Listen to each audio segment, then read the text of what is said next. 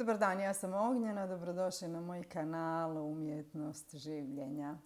Danas ćemo razgovarati o tome šta se dogodi kad se oslobodite iz ralja narcisa i ljudi iz klaster bija. Prije nego što krenemo, hvala vam što ste tu i hvala vam što me pratite. Svakako se pretplatite na moj kanal, odslušajte reklame, za to vam jako hvala. Možete ekskluzivno pratiti ovaj sadržaj na Patreonu. A ako želite raditi sa mnom, znači radim osobni coaching jedan na jedan. Također sam pokrenula i grupne terapije za koje znači, znači treba postojati grupa koja ima srodne probleme. Grupne terapije su u biti dobre zato što u grupnim terapijama mi shvatimo da nismo sami. Niste sami.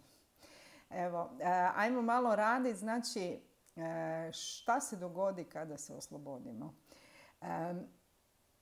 To me, to me znate pitati, znate mi ostaviti lijepe komentare i ovako direktno mailama i u komentarima. Hvala vam za to. Znači, kako uopće mi shvatimo da smo s narcisima? Ovo će biti malo osobno priča, ali šta se u biti dogodi? Vi shvatite, vi shvatite da jednostavno šta god radite nije dovoljno dobro vi shvatite da šta god radite uvijek će biti nešto što nije dobro i vi shvatite u jednom... I onda se šta? I dalje trudite, trudite, trudite da biste bili bolji, bolji, bolji. Međutim, u jednom trenutku vi shvatite da, e, da tu nema kraja. Da ma koliko se vi trudili, uvijek će biti nešto. Uvijek neki kiki, što sam već rekla. I šta s tim? Onda vi zapravo, i to je e, e, jedan strašan trenutak koji je u jednom času oslobađajući, jer to je trenutak u kom vi promijenite narativ i kažete čekaj malo, ovo ne može biti u redu. I onda jala, počnete gledati stvari iz drugog kuta. Nekad je dobro promijeniti fokus, onda možda počnete pratiti mene, jel? I tako.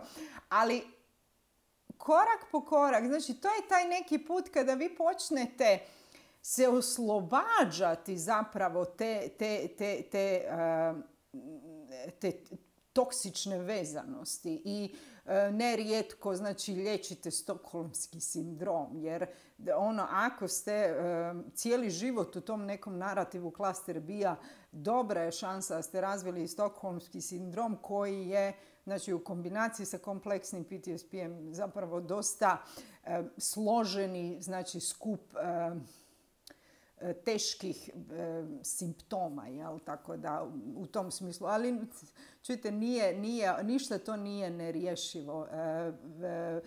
najveće rješenje je u tome da spoznate da ste u pravu, a u pravu ste.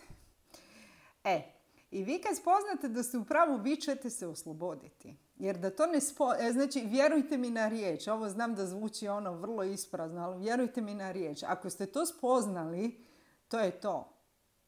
Ostalo je samo, ajmo reći, rad.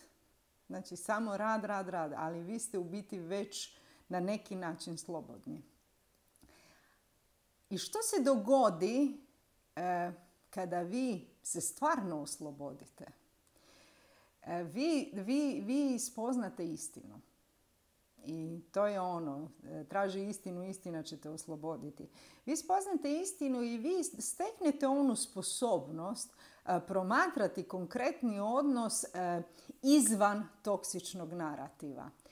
I vi kad promotrite odnos izvan tog toksičnog narativa, vi shvatite koliko ste u biti vi bili ne samo dobronamjerni i posvećeni, vi shvatite koliko ste bili zreliji, koliko ste bili pouzdaniji, koliko ste bili pošteniji i koliko sve to skupa nije značilo ništa.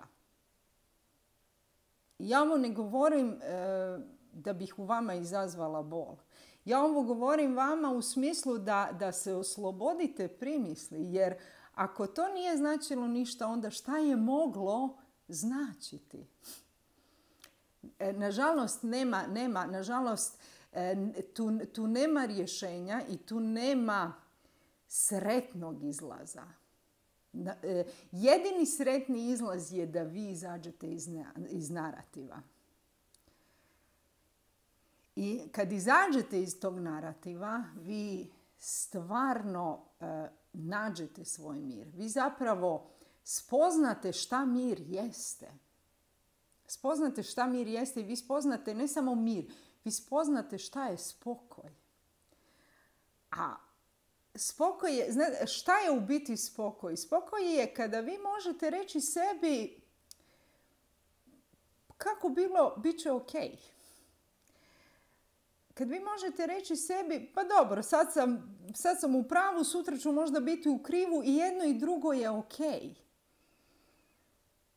Ili ne znam, kada, kada vas čeka neka, ajmo reći, strašna situacija. To se ja doživjela jednom, e, bio je divan, e, jedan divan kolega i imali smo neki audit, šta je, znam i ovaj, znači dolazi vam ta neka kontrola, neka čuda.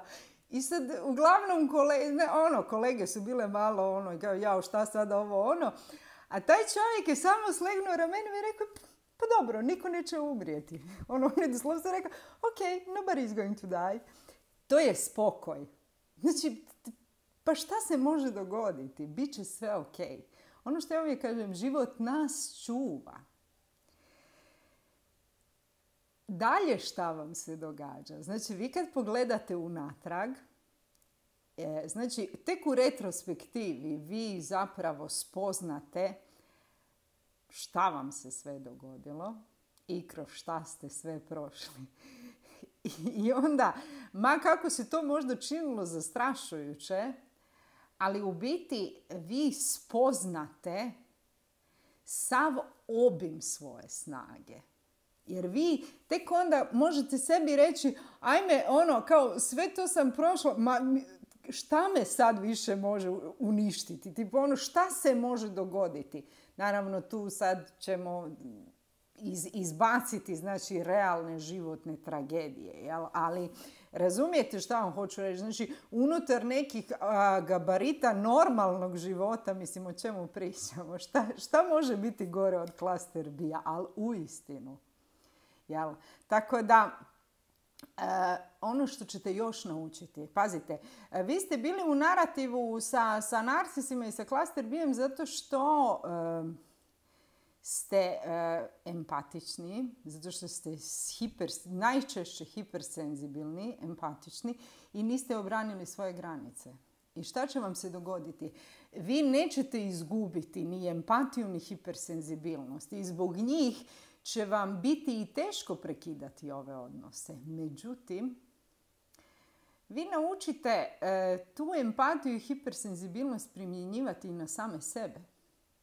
I onda vi shvatite da sa klasterom bijem je uvijek e, u naravi, vi ste uvijek u nekom okršaju ili ta osoba ili ja. Znači ako odemo do ekstrema, to je onda ono, to je onaj jezivi Sofijin izbor, razumijete?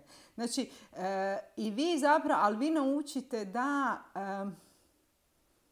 prvo sačuvate sebe. Znači, to vam je ono, to vam je ono, sigurno ste letili avionom i onda znate, to vam je onaj standardni drill, ono, ne znam, u slučaju e, nezgode, Znači, e, e, masku za kisik prvo stavi, ako je, znači ako je roditelj s djetetom, kaže masku za kisik prvo stavi sebi, pa tek onda djetetu. Znači, prvo sačuvaj sebe.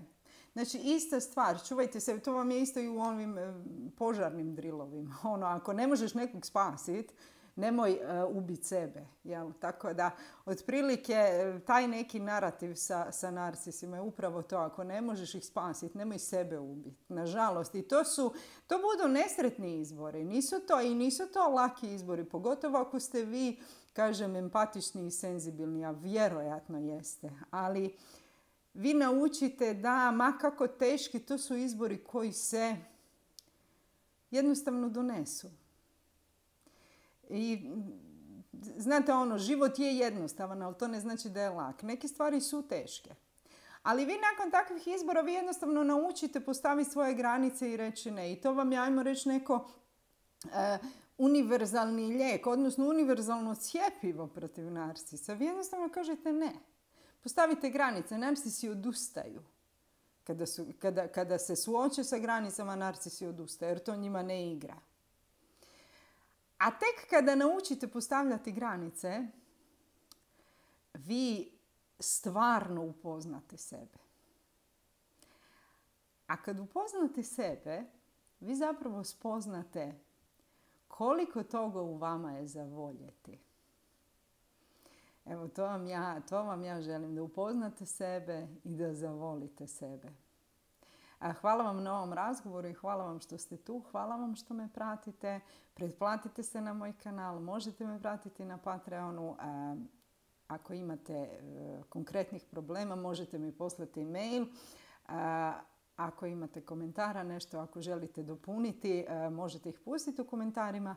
A do sljedećeg razgovora budite mi zdravo, dobro i veselo. Ćao!